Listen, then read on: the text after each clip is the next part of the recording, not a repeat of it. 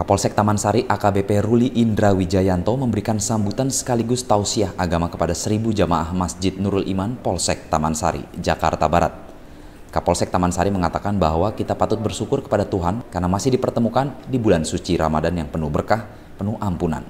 Oleh karena itu mari dipergunakan dengan sebaik-baiknya dengan memperbanyak amal ibadah maupun ibadah goirum mahdoh Kapolsek juga mengatakan bahwa saat ini ada beberapa kelompok yang melakukan kejahatan teror dengan melakukan bom bunuh diri.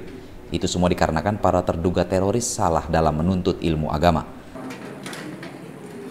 Menjalankan ibadah puasa kepada rekan-rekan Bapak Ibu sekalian. Artinya puasa yang akan kita jalankan ini betul-betul mendapatkan rahmat dari Allah Subhanahu wa taala. Bapak Ibu sekalian, kita harus bersyukur kita masih bisa bertemu dengan bulan Ramadan tahun ini.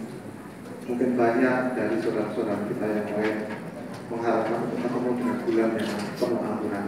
Namun Allah sudah mendahului untuk memanggil kita. Oleh karena itu kita dari Jakarta, Aibtu Sumarno Tribrata TV, salam Tribrata.